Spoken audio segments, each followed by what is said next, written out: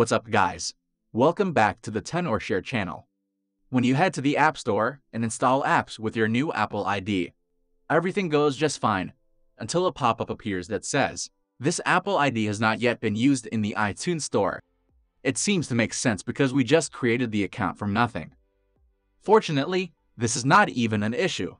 In this video, I'm going to show you how to get rid of it and successfully install apps on your device. Let's dive in. First, let's review the account information as it suggests, and go on to complete our Apple ID. Select Country.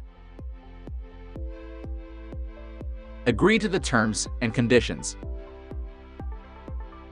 Set up billing name and address. Once completed, tap Continue. Then review the new iCloud terms and conditions if prompted.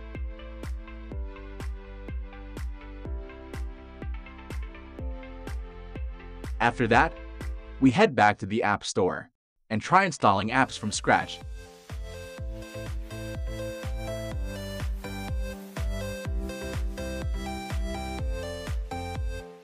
And boom, it worked. Now you can download any other apps without problems. Just like that. If the issue persists, you might need to complete your payment settings. In the Settings app, tap your name, payment and shipping. Then try to add a payment method and shipping address.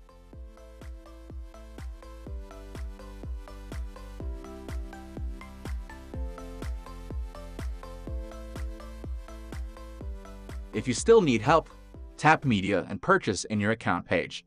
Sign out your Apple ID. And then sign in again. If this doesn't work, let's move on to our ultimate solution. Repair the iOS with ReiBoot, which is a doctor for iOS. Once launch it on the computer, plug the phone in. Click Start on the home screen. Go with the standard repair so we won't lose any data. After downloading the firmware, we can start repairing. This will install the latest iOS on the iPhone, so if the issue also relates to iOS bugs, this is the fix for sure. Well done? Now let's go ahead and try installing apps again from the App Store.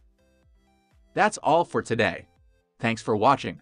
If you think this video is helpful, don't forget to share it with your friends. See you!